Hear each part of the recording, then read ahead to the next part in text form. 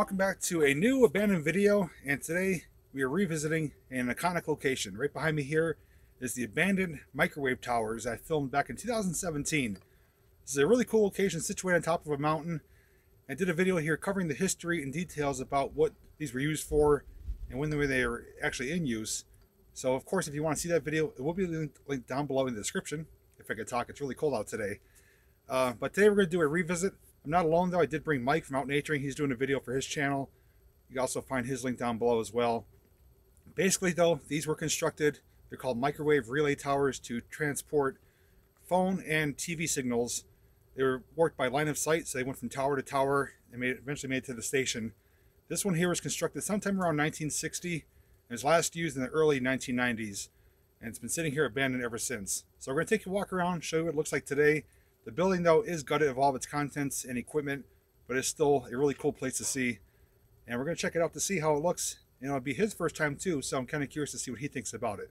But if you want to check it out with me, come along with me.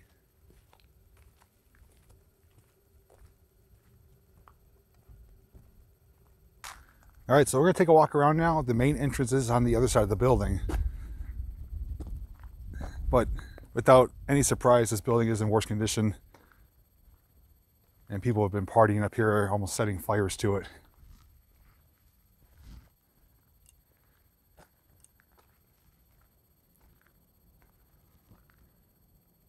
But nonetheless, it is a really cool place. And those big objects are called horns. They are what are used to send and receive the transmissions.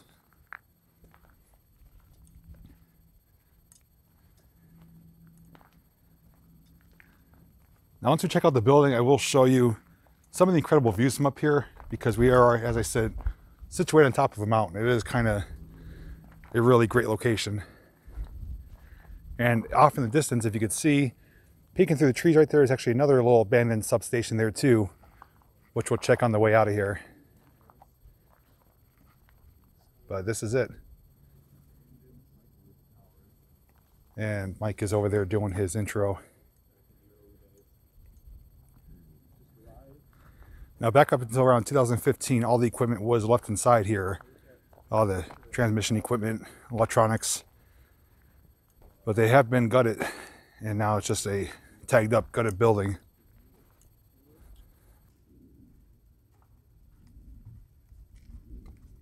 Do you want to see the inside?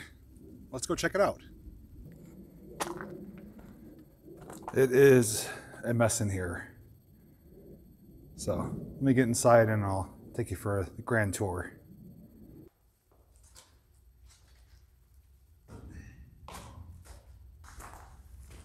All right, I'm gonna switch to main camera here and show you.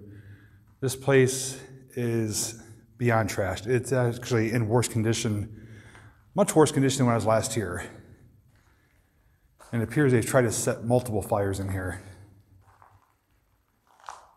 It's just ridiculous that people do this. Now, the building, though, is a very structurally sound building. These are built to last, built to survive, you know, blasts from military, natural disasters, stuff like that. So, the building's not going anywhere anytime soon.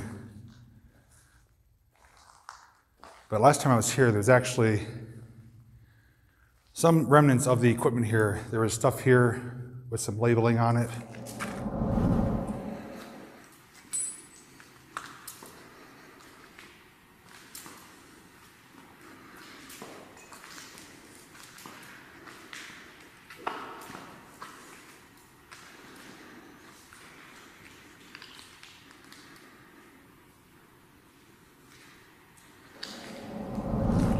yeah, it's been removed or stripped or whatever. It had something about think antennas. And there was a furnace room, but I don't see it.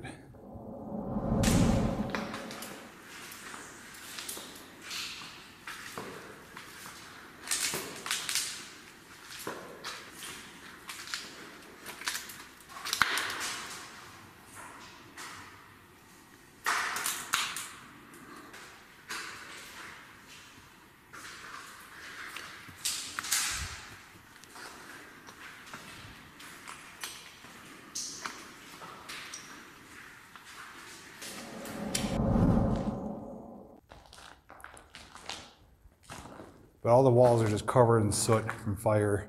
That's not spray paint, that is soot.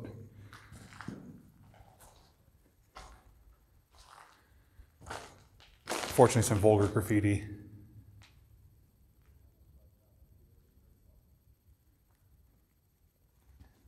But again, at one time when this is operational, it'll be filled with electronics. Looks like somebody's maybe trying to stage something here with this rope. You can see the looks like the heat ducts up there possibly. Yeah, it looks like something is missing here. There was a room with a furnace I remember seeing in the last video. I don't know where that's at right now.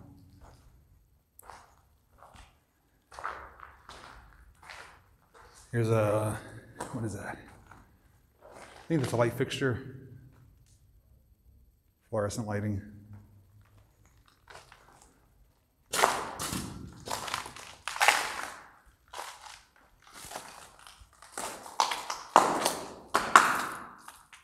That's just a vent window to the outside.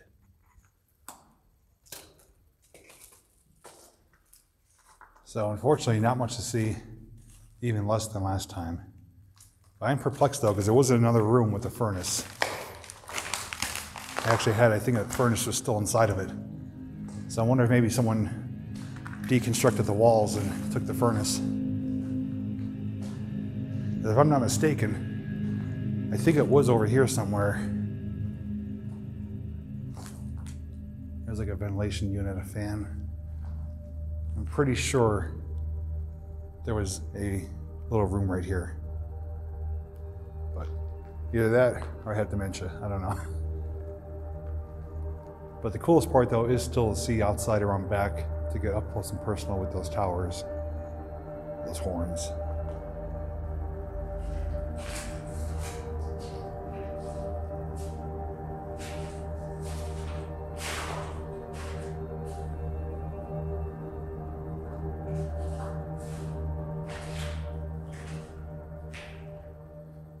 So unfortunately, not much else to see in here. So let's head outside and we'll get an exterior look at the building, the rest of the building, and the microwave tower. So Mike was over here getting some shots and he actually said there's something really neat over here I want to see. And I almost doubted him at first. But let's see what actually it is. Coming over here, I wanted to show the view of the mountain. Wow. It's actually a, an abandoned SUV. I never knew this was here. It's actually pretty well hidden. Summertime, you never see it.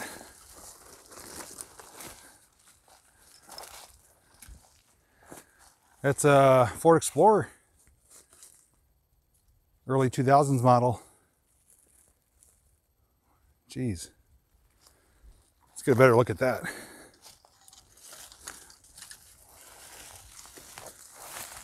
Can only imagine the stories as to why this is here. If someone dumped it, if it's stolen, if it was used in a police chase. Lots of possibilities. Tires are still inflated. It actually hasn't been here all that long, maybe a couple months at the most. Back, the windows aren't even blown out of it yet. Stand back here.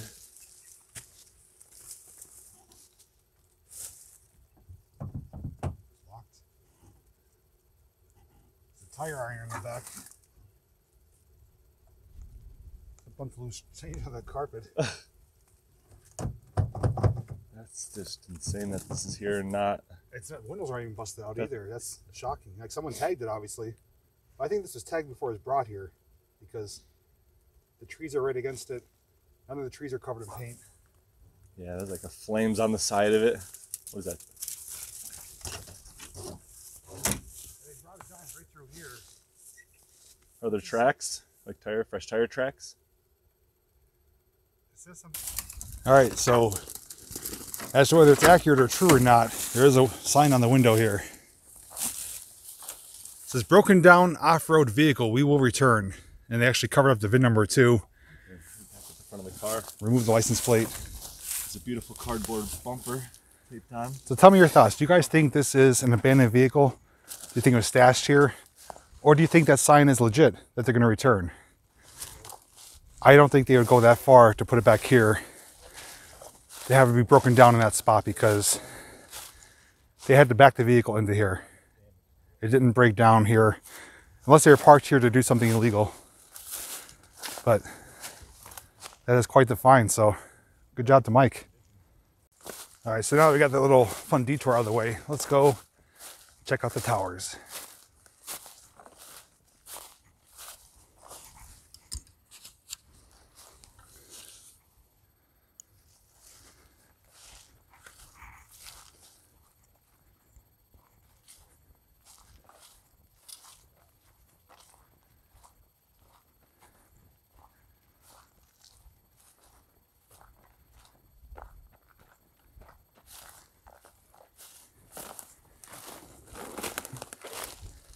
So like I always do, I'm going to walk up to the tower here and give you a good size comparison to myself compared to that.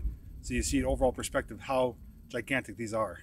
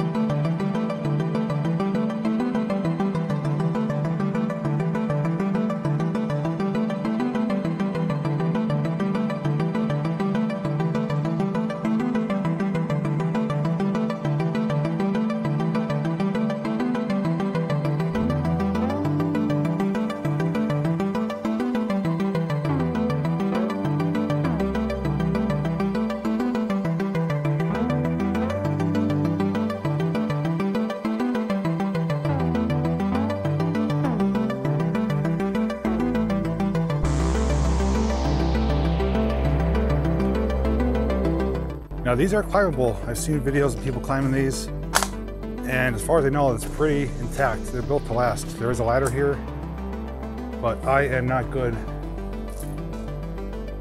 with heights like this. And it's all see-through and it's just downright not a fun time for me. So I did fly my drone around though in my first video. So I do get some aerial shots and be able to show you what it looks like from up there in the first video. But it is really cool to know though that you know these are AT&T long line towers used to transmit phone and television. That is how you were able to make landline phone calls and watch cable television based off of this in the 60s through the 90s.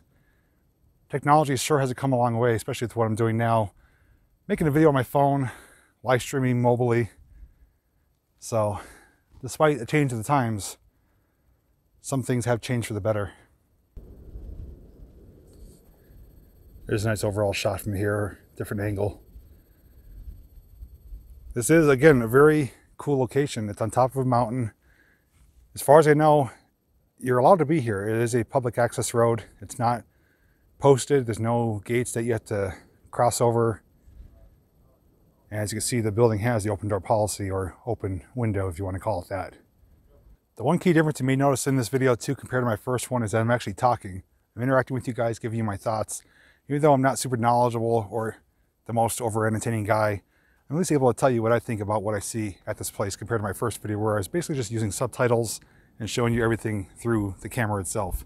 So hopefully if you guys do appreciate this type of format better, I'm able to talk to you about what I see, talk about what I'm gonna do next, and make you feel like you're here with me. If you do enjoy it better, let me know in the comment section. And don't forget also to give the video a big thumbs up. It's free, only takes a second, and tells me that you enjoy this type of content. So just spoke with Mike and he said he thinks he's gonna get some gloves on and pack up his gimbal and try to make his way up there. So if he does, we'll continue with that footage next. If not, we'll be wrapping up shortly after this.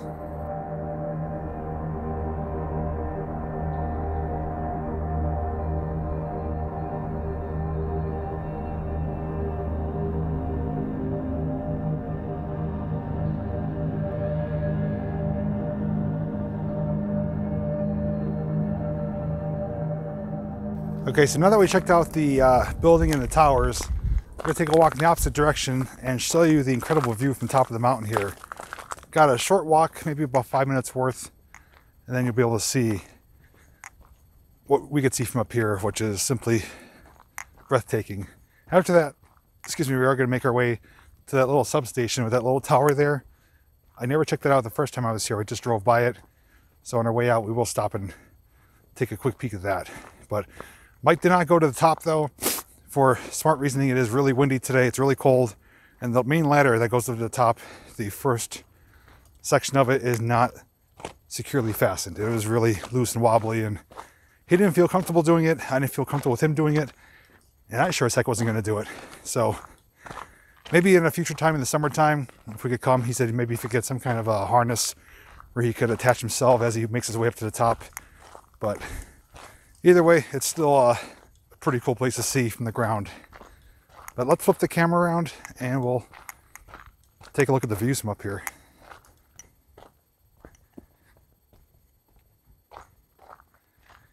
You can see this is a uh, pretty frequently used trail. We're coming to a clearing here, which is probably a pretty good lookout spot or party spot. I do see signs of fires and stuff. I'm gonna keep this rolling though. Wait till you see this view.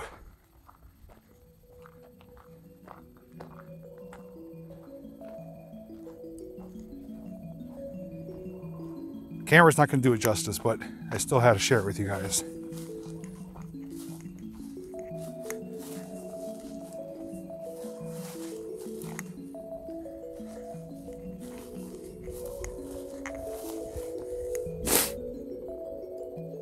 That is probably the best view here in the city of Scranton. And we are looking straight across. I'm gonna show you wide angle first, then we'll zoom it in. That is Montage Mountain, those white strips. That's the ski slopes.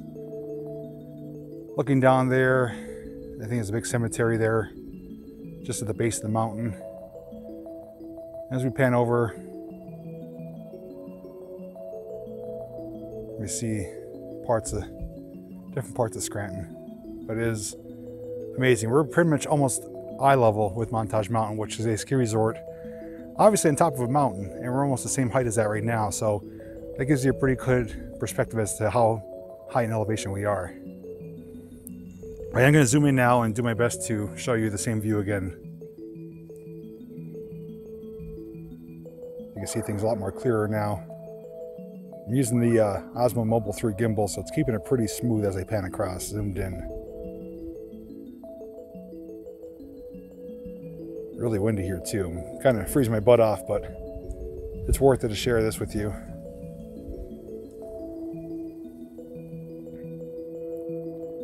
Pretty amazing. I'm to snap a few photos here too.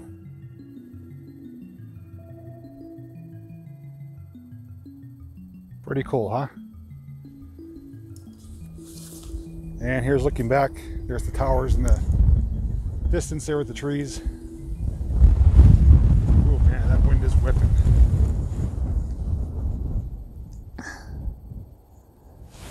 There's the towers there behind the trees.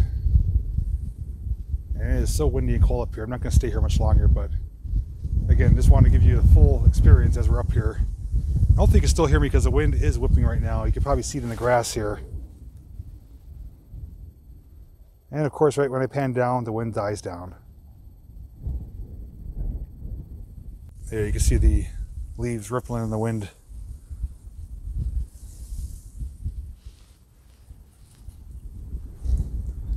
All right, that's enough of the cold here and the wind. Let's get back, make our way to that last little substation, which is probably not even called a substation, but I'm calling it that. And then we'll wrap things up from there.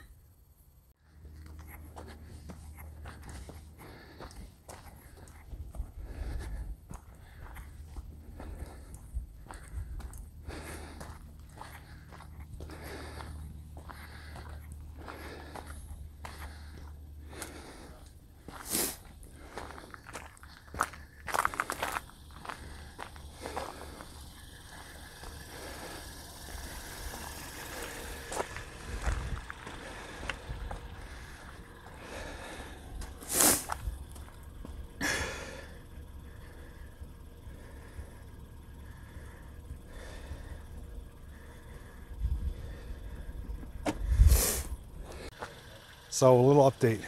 You may have seen some footage just now, some guys walking away from that truck. Well, they went back there. If you remember what's back there, that's that abandoned Ford Explorer. I legitimately thought that was stashed there. But I believe they came to get it. They have an air compressor in the back of the truck and some tools. And There's three guys. And uh, I was right though, it wasn't there very long, but they are, I think, going to try and retrieve it. So, funny coincidence. Mike spots it. We assume it's an abandoned vehicle, and there's uh, people up here to get it. So, pretty funny turn of events. Yeah, I'm sitting in the car right now. It's those three guys right there. So, unless they're there's a small, small chance it's not their vehicle, but they know it's here. But I have a pretty safe assumption they probably are the ones that left it there. I don't know why though. I see you. they can't see me here through my tinted windows. But it's funny because I was down there filming the view area, snapping some photos. I heard a vehicle come in pretty fast. I heard the crunching of the ice, heard the engine. Didn't know what to expect. So I came rushing back to my car, and that's what we found.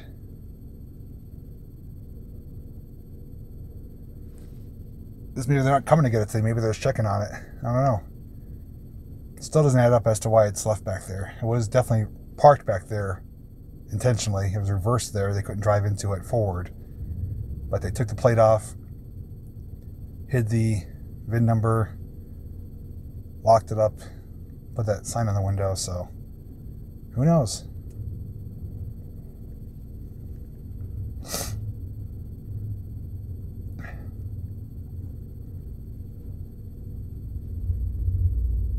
And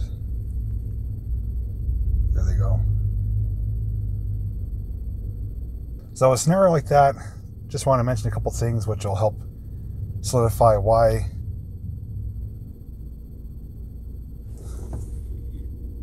actually backed up for a moment. Uh, I just want to mention that why safety numbers is extremely important, even for you know a place like this. Even though this is not an old abandoned house, you know that potentially someone could be waiting inside in an isolated location like this, you don't know what you're going to encounter. As always, I always have protection on me. I have right here, readily available pepper spray. I have a knife, amongst other things, either in my vehicle or in my backpack or on me. So I never come without protection. Mike has his own. But just being here together, though, you know, if it was just one of us up here, there's a chance anything could happen much greater than if you're here with someone else. So they saw there was two of us here. We're not alone. And not to say that they're up to no good. I don't want to think the worst of people, but they did come directly for that vehicle. So we don't know the the, sto- the story, the story behind it, or the thoughts about it.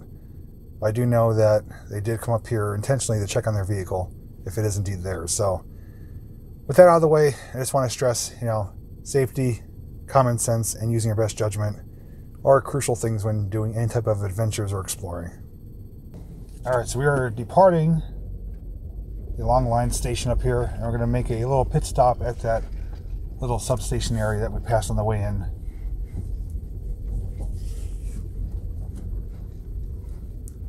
Now we'll see if the uh, Billy Bobs are up here still with their pickup truck. A lot of ice and puddles up here. Definitely need all-wheel drive or four-wheel drive to navigate.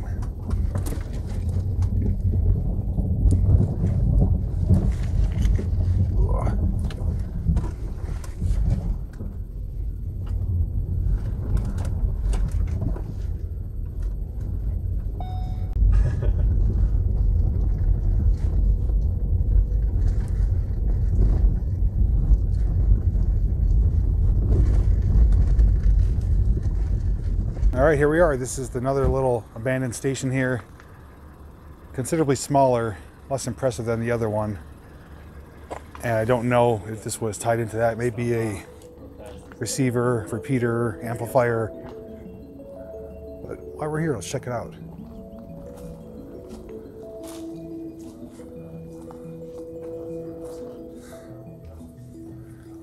This one definitely in better shape though. Oh, Mike, you're gonna flip. QT. Shut up. Mike sees that everywhere we go.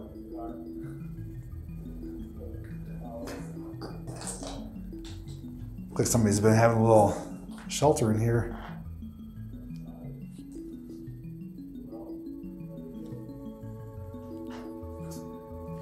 There's a gas line. Probably was a furnace in here at some point.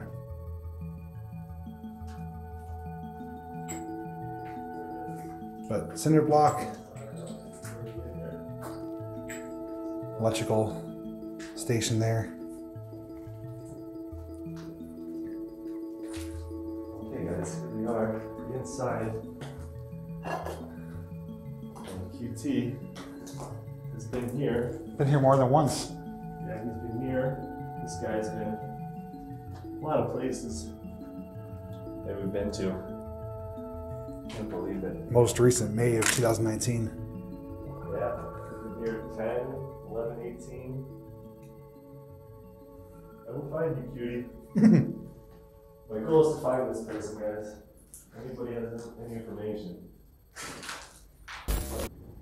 Yes, this building much smaller, much less impressive, but in better shape though. No fires inside really, no soot.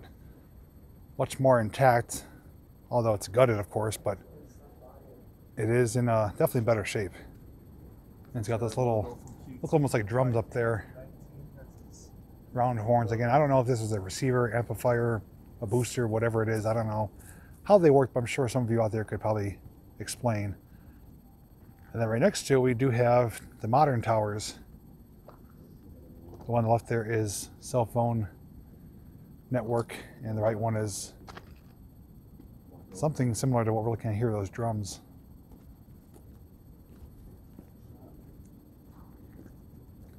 Mike's gonna go check them out.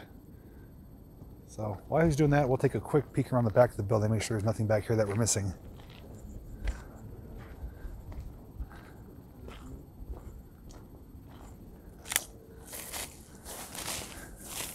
looks like on the ground here parts of a uh, chimney maybe not sure what that is it's like some kind of ceramic or something think that's for a chimney probably for the furnace maybe